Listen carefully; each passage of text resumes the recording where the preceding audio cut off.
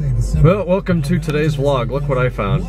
It's a matte gray Veloster Turbo. Yeah, and an A5. So, we just went out to uh, to dinner, got some Zeppe's.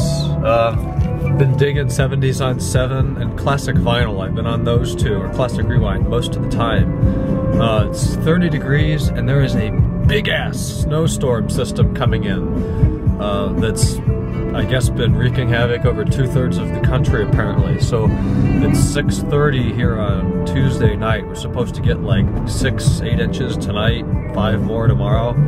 So that's gonna be fun. Tomorrow's the day where I have no classes, just two exams that to get done before Thursday. And both of them are computer lab formatted exams, which means you have all week, Monday through, in this case, Thursday at 6 p.m. to go into the lab, just walk in, show up with your ID, tell them what exam or exams you're ready to take. They'll seat you, you take them, you leave.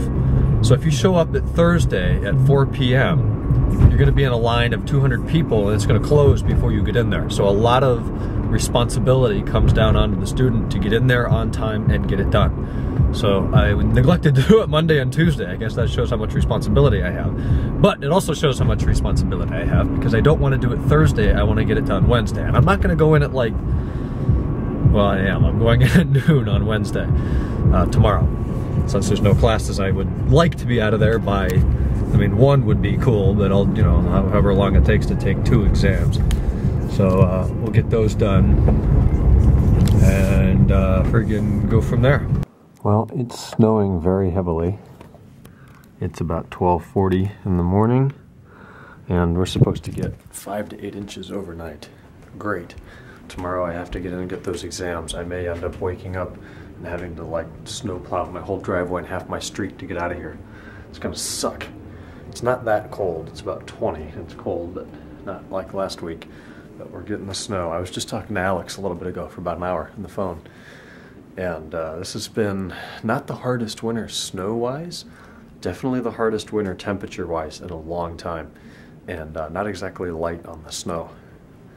I mean, we're, we're getting a lot of it.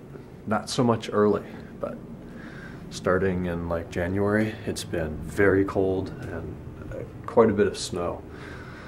Uh, welcome to Ohio. So I studied for exams tomorrow for quite a while. I did two labs, submitted those, multiple other online assignments, so I'm kind of all caught up. I have one assignment due Thursday and one, I think that's it. I think there's one due Thursday that I have to do on supply and demand. And then I'll be done for the week. You know, there's the exams and the two classes on Thursday. So I'm starting to be able to see the end of it, which is good.